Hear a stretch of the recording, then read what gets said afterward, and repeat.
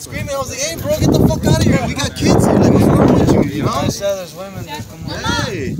That's, uh, they, they do that somewhere else. Yeah, luckily the cops came like that way. right away. That's a nice shark.